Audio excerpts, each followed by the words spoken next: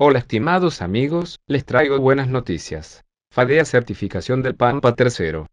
La Dirección General de Aeronavegabilidad Militar Conjunta ha dado por cerrado el proceso de certificación de la nueva versión del avión de entrenamiento avanzado y de combate liviano Pampa III, 17 de julio de 2018. La fábrica argentina de aviones, FADEA, recibió el documento de aprobación de diseño del avión Pampa III, otorgado por DIGAMCO acreditando la finalización del proceso de certificación de la aeronave. Este hito se logró después de haber analizado los 3.335 puntos incluidos en la lista de control de cumplimiento, LCC, presentada a la autoridad aeronáutica y aprobada por ella.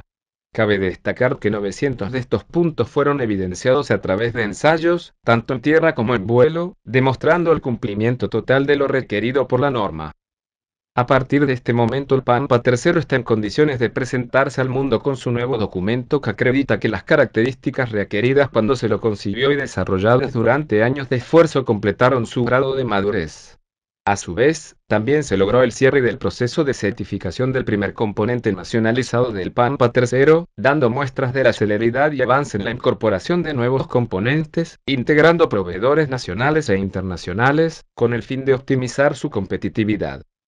En dicho marco, FADEA continúa con la producción de los primeros tres aviones Pampa III fabricados en serie para ser entregados este año a Fuerza Aérea Argentina.